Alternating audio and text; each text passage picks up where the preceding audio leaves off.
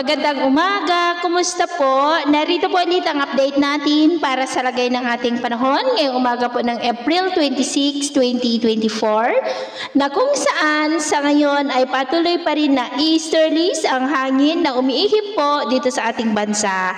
Habang mayroon pa rin ITZZ na nakaka-apekto naman dyan sa ilang bahagi ng Mindanao at sa ating long range forecast na nanatili pa rin na walang bagyo na namamataan na tatawid dito po sa ating bansa hanggang po sa susunod na dalawang linggo. At sa lagay ng ating panahon, ngayong madaling araw ay maayos ang panahon sa malaking bahagi ng ating bansa pero may tsansa ng mga isolated rains sa ilang bahagi po ng Cagayan, lalo na po dyan sa may silangan, Bayombong, Southern Samar, ilang bahagi ng Leyte, Bohol, Caraga, ilang bahagi ng Davao, Zamboanga at Basilan. Mamaya ay sisikat ang araw sa malaking bahagi ng ating bansa, mainit at maalinsangan ang panahon, maliban po sa mga tsansa ng maulap na kalangitan with isolated rains sa bahagi po ng silangan ng Visayas at silangan po ng Mindanao. At mamayang hapon, mas maraming lugar na po sa Mindanao ang makakaranas ng maulap na kalangitan with isolated